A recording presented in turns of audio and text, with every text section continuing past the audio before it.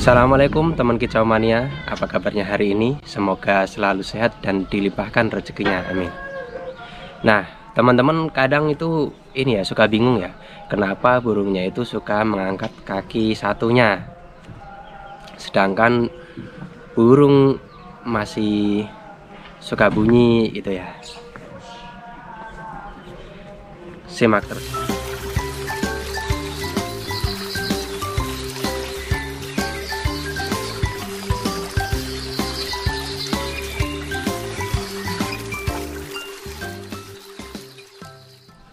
Nah, perlu diketahui teman-teman ya, burung itu di saat santai itu kadang suka mengangkat salah satu kakinya.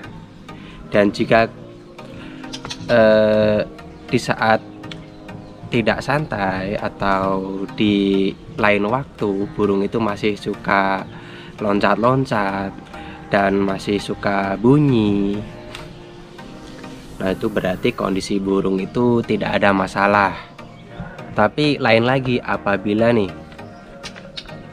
Burung suka mengangkat kakinya Itu burung kok malah malas bunyi gitu Terus dia juga jarang gerak, jarang loncat-loncat Nah itu bisa diidentifikasi kalau burung itu sedang bermasalah. Nah, dalam masalah ini teman-teman bisa mengecek tuh. Cek dulu kondisi kakinya. Beberapa penyebab yang bisa menyebabkan burung itu suka angkat kaki antara lain itu kakinya itu terluka. Nah, biasanya burung-burung yang kaki terluka itu burung-burung bahan tuh yang belum beradaptasi jadi dia itu sering nabrak kanan kak suka nabrak-nabrak kandang gitu ya. Jadi dia wah masih inilah masih uh, takut banget dengan lingkungannya itu belum beradaptasi. Jadi ya pokoknya nabrak sana nabrak sini akhirnya kakinya itu bisa terluka. Bisa terluka karena ya sangkarnya itu kadang kan ada ini ya ada sanggar itu yang kurang halus gitu. Itu bisa membuat luka. Terus bisa juga kakinya itu kesleo karena saking seringnya nabrak-nabrak jeruji gitu ya. Terus bisa juga karena kakinya itu bengkak. Nah itu juga mudah dicek gitu ya. Perhatikan kondisi kakinya juga bengkak. Itu berarti karena bengkak itu jadi burung sering angkat kaki penyebab kaki burung bengkak itu biasanya sih karena kebersihan kandangnya itu kurang baik ya. Jadi bisa karena banyak bakteri. Burung kan kadang suka turun ke dasar kandang tuh. Nah, itu kan banyak kotoran. Nah kalau burungnya jarang mandi terus sangkarnya juga jarang dibersihkan otomatis kotoran yang nempel di kaki itu akan menimbulkan penyakit itu karena kotoran itu kan bakteri gitu ya. Nah jadi teman-teman harus mencegah ini jangan sampai terjadi.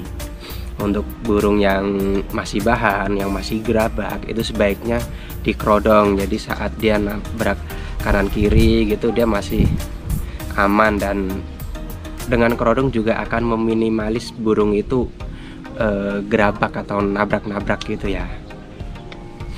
Terus untuk burung yang bengkak gitu karena sangkarnya kotor nah ya untuk mencegahnya sangkar itu harus rutin kita bersihkan dan burung juga harus rutin dimandikan gitu ya.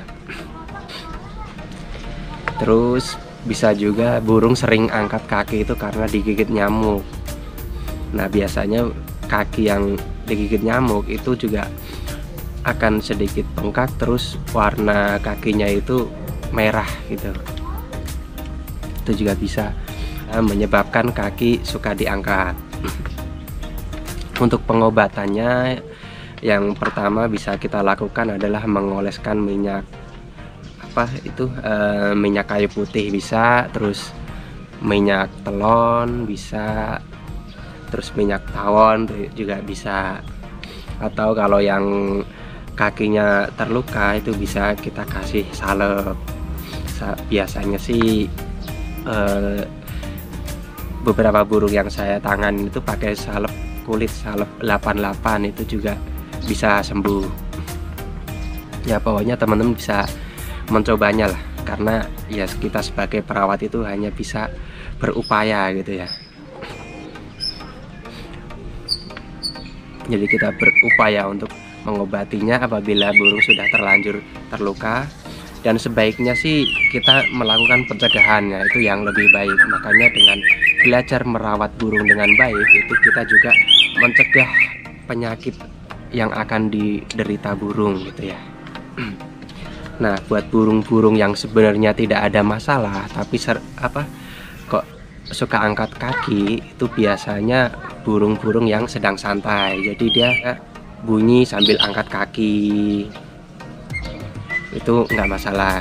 Yang penting itu burung masih terlihat lincah dan mau bunyi. Nah itu berarti tanda-tandanya kan burung itu masih sehat. Nah yang jadi penyebab lain burung suka angkat kaki tapi kakinya itu tidak ada luka. Itu biasanya burung yang keadaannya kurang fit. Bisa jadi burung itu kurus atau nyilet atau penyakit yang ada dalam tubuh burung. Jadi membuat burung itu apa ya bahasa Jawanya itu nyekungkruk gitu. Nah itu burung akan diam terus angkat kaki satu jadi cara gampangnya itu kita kita tahu kalau burung itu kurang fit. Itu kaki diangkat satu terus matanya merem. Nah itu kemungkinan besar burung itu kondisinya sakit. Nah untuk penanganannya ya kita upayakan dengan pemberian EF nya yang lebih baik terus pemberian vitamin. Nah itu yang bisa kita upayakan terus burung sehat tapi suka angkat kaki. Itu biasanya burung yang akan memasuki masa mabung. Nah itu sebenarnya juga sehat tapi maksudnya sehat itu dia tidak kena penyakit. Tapi kondisinya kurang fit. Kurang fitnya itu ya karena akan memasuki masa mabung itu. Itu biasanya burung kan lebih banyak diam terus angkat kaki kadang juga bulunya agak mengembang gitu atau bulunya ngembung gitu ya. Nah kalau kita tahu itu kondisi burung mau memasuki masa mabung Jadi ya yang kita lakukan ya perawatan mabung aja gitu. Dan juga kita siapkan vitamin-vitamin untuk burung mabung lah. Nah jadi begitu ya teman-teman ya. Kita nggak perlu panik tentang burung yang angkat kaki satu nah jadi kita juga harus tahu apa penyebabnya dan burungnya itu kenapa gitu ya. Kalau kita rawat dengan baik burung pasti sehat. Nah cukup sekian dulu ya teman-teman video kali ini. Semoga bermanfaat untuk teman-teman semua. Mohon maaf apabila ada salah kata apabila ada masukan dan pertanyaan silahkan klik di kolom komentar. Terima kasih sampai jumpa. Assalamualaikum